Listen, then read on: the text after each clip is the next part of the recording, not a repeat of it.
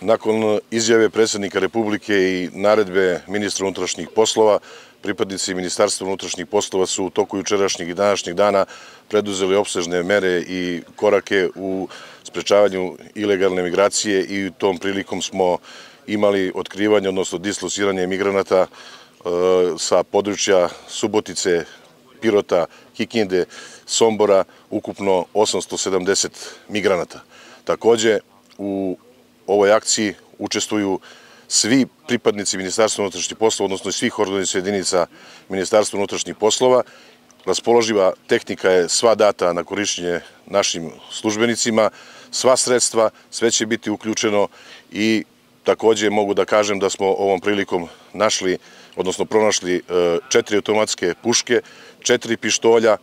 određenu količinu narkotičkih sredstava, kontrolisano je